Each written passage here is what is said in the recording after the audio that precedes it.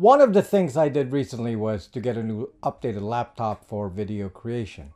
And because I use Adobe Premiere Pro, the default operating system for this is Windows. I don't need any comments about Linux. I have a dedicated laptop for Linux. So let's not get sidetracked with Microsoft bashing. I'll do the bashing for you.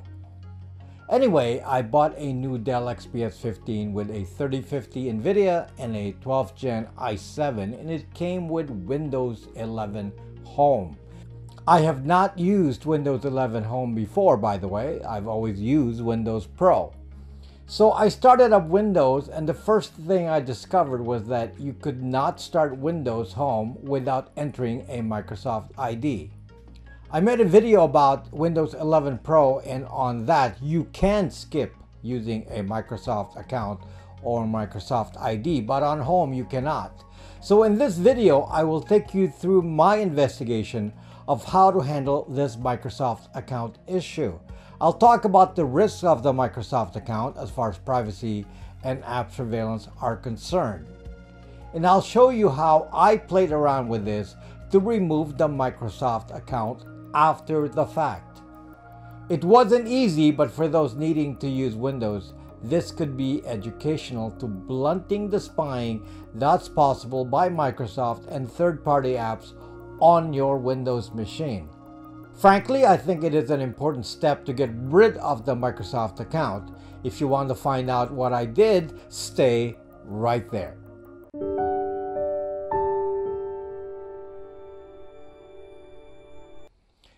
So I have to tell you the truth.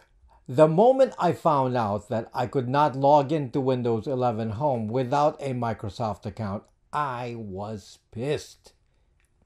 Yes, I could have upgraded to Windows 11 Pro, but to do that, you need to use a Microsoft account to download the update from the Microsoft Store. So that didn't solve anything. I decided to go through the entire process of setting up Windows using a Microsoft account and then see if I can undo it. And that's what this little experiment is about. And at the end, I'll tell you why this is important. By the way, though I have removed the Microsoft account from this system in all the spots that I've found, I don't know what all the consequences are yet. So far, nothing important has been impacted. But don't follow my lead blindly here. You will lose certain things, I'm sure, things I don't care about, like OneDrive, maybe Cortana, maybe access to certain things in the Microsoft Store. At the moment, I'm using this computer as a productivity machine and for that purpose, everything appears to work, especially the important Adobe Premiere Pro for me, which is the primary purpose of this machine.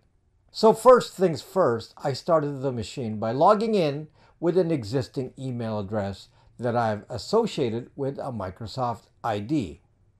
This is not an ID I use for anything else, so it doesn't really have any activity. I didn't know if I could undo anything, so I used the email which likely has the least amount of data with Microsoft or anyone else. In the end, this step may not matter, but this is how I started it. Once you start Windows with your Microsoft account or Microsoft ID, you can get your machine activated by Microsoft, basically making sure your installation is valid. If you didn't know this, the product ID that you have to enter in every Windows install will also make the machine unique.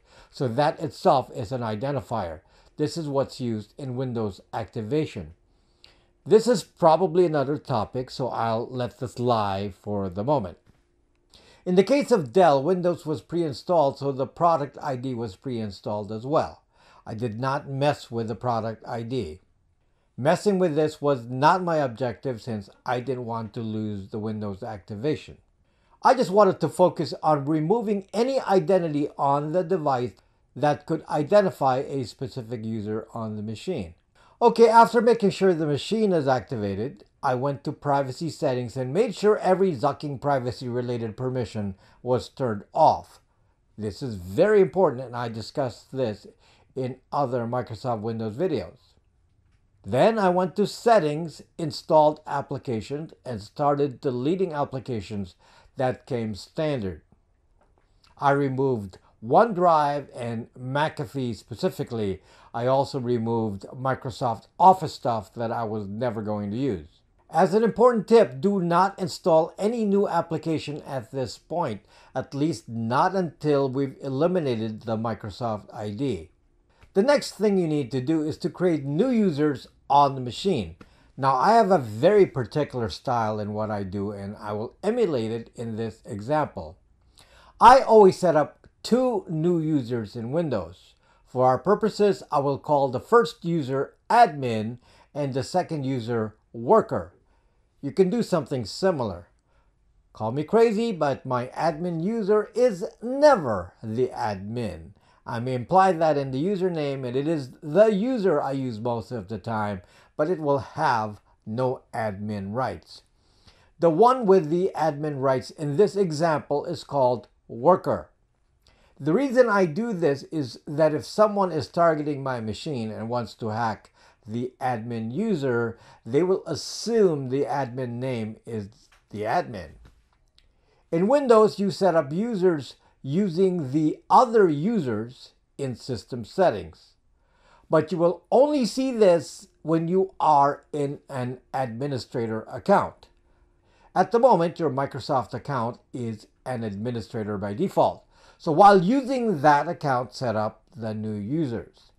The important thing to note is that when it asks for the Microsoft ID of the new user, you tap on the option, I do not have this person's sign-in information. This process will allow you to set up a local account. Tap on that and a new window will show you the selection Add a user without a Microsoft account. And this will now allow you to create the local accounts. And as I said, my intent is to make two new users, admin and worker. Both of these new users must be set up as local accounts. Then, and this is important, set the account type for worker to be administrator and the other as a standard user. Next step, log out of the Microsoft ID account and log in under the administrator account, which in my example is worker. Now I go to the other users and system settings again, and then I will see the three users. Our next task is to delete the Microsoft ID account. But to show you the before and after, I will go to the command line and show you what is happening. Using the command wmic user account get name comma sid this will show me all the users that have been set up so far and you will see all the current users. The one marked as Rob is the one that is assigned to my Microsoft account. I want to show you a before and after. Once I delete the Rob user which has the Microsoft account this command will no longer show in the command line I want you to understand something here any desktop app like Chrome, for example, could run something equivalent to this wmic command or access the Windows registry directly and get a list of current users on your Windows system, something Facebook likes to do. One of the values here is called the SID or Security ID. This is the unique identifier associated with each user. With this SID, a desktop app can actually find matching entries in the Windows registry to know the associated username, which is the Microsoft account or Microsoft ID. Now, there are easier ways for a desktop app like a Chrome to get the Microsoft account. And in fact, I looked at the registered apps and many of them inserted the Microsoft account in the registry entry of those apps. I believe this is because the installer itself, called MSI or Microsoft Installer, is of course from Microsoft. It is one of the steps it does. But before we continue, let me show you that when you delete the user with a Microsoft account, Windows Home will function completely normally and now the command wmic will show no user associated with the original Microsoft ID. At this point, I thought I was done. But in Windows, all system entries and spy fragments are found in the Windows registry. Just so you understand how this works, go to the command prompt from the admin account, worker in my case, and type regedit. And the entire Windows registry is here for you to access. All identifiers used by Microsoft and other apps are in this registry and has been there for 25 years. In order to find what data it knows about the Microsoft account, I did a find, and specifically I was looking for my email address in the entire registry. Each occurrence of find will give you a result and you need to hit find next to go to the next one. At this point, even after deleting the Microsoft ID user, I found easily a dozen spots where the Microsoft ID still existed. The main one I found is over here under this key. And the most significant item is the one marked as registered owner and registered organization. In my case, I blanked this out, and so far that has not given me any issues. I suppose you could also enter some fake name and organization here. It doesn't apparently get checked. It doesn't have to be an email. I mentioned that this registered owner is automatically transferred to the installation registry entry of any new app. So this is extremely important to modify. Make sure it does not reveal who you are. Otherwise, an app like Chrome would automatically know your Microsoft ID and it doesn't need any special rights for this since it will be in the application's own registry settings. An app could easily find out your user info using a command like this on your machine. Who am I slash user? Again, something Facebook likes to do. So always assume that some identifiers on the machine could be pilfered, including the machine or computer name. For goodness sakes, do not make your machine John Smith computer or John Smith family or anything with an identifier. Make it as obscure as possible. To be clear, your goal is to not have your computer leak an identity, so whatever you do on the internet is traceable to a specific device. Again, to summarize, the registered owner is an important identifier to remove and modify. Now, as you will find when you search the registry for your email address, there will be many entries. One of them, for example, will automatically assign your Microsoft account to OneDrive. There's also some association with Windows Defender, the built-in antivirus. And many spot that will indicate that the credential used as a Microsoft account is a validated credential.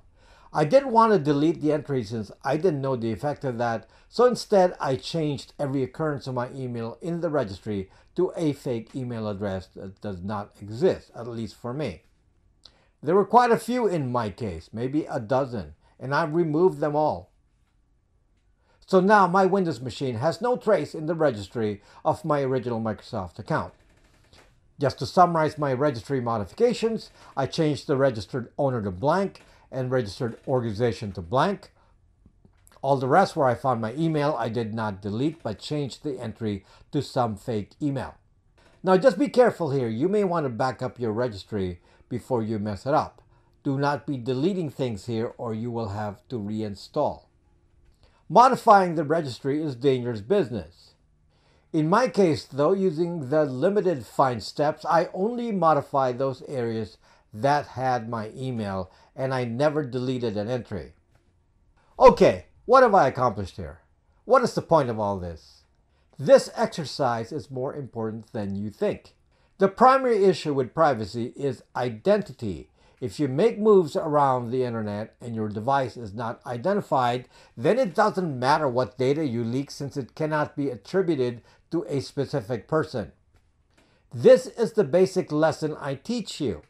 Microsoft, by forcing us to enter a Microsoft ID and then scattering this data all over the registry, means that any app running on the machine could theoretically retrieve your Microsoft account even if you did not provide it to the app. Think about this in the context of Chrome.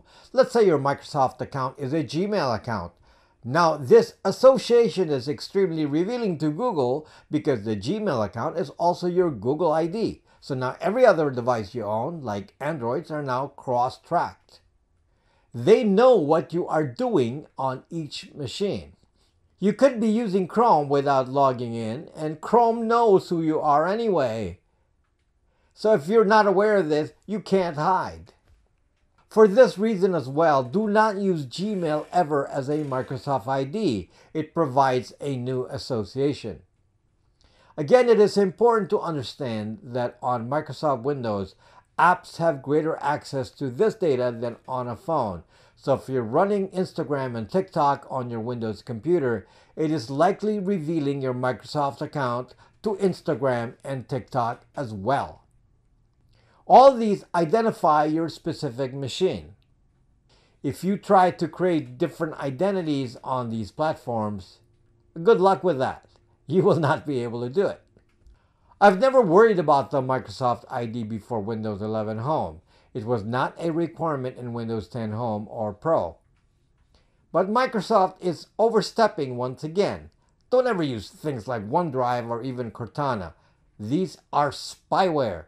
The good news with Microsoft spyware is at least they're fairly easy to beat. I couldn't provide you with a similar tip to remove the Apple ID from macOS. You're pretty much zucked there. Now, understandably, the pro Linux crowd will step in here and be flabbergasted at these extra steps to allow privacy when no extra steps are needed if you use Linux.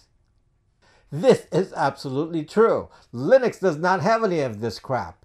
But unfortunately, Linux can't run everything, and many need to use Windows for some work related function. So, this will blunt the effect of the beast. Now, what if you use Microsoft Office 365? Remember that anything granted access via browser is limited to the browser, so that is not the same as embedding the identity on the machine itself. I wouldn't use Microsoft Office 365 when I can use the free LibreOffice with no spyware. But if you want to use it, go ahead. Hope this helps.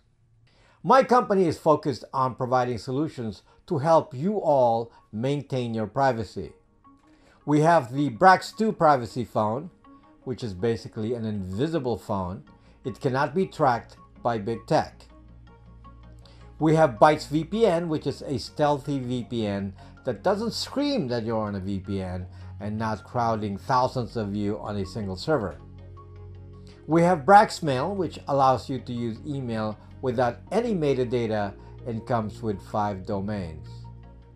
These products and others are on my store on Brax.Me. Please visit us there. The link is in the description. Thank you as always for watching and see you later.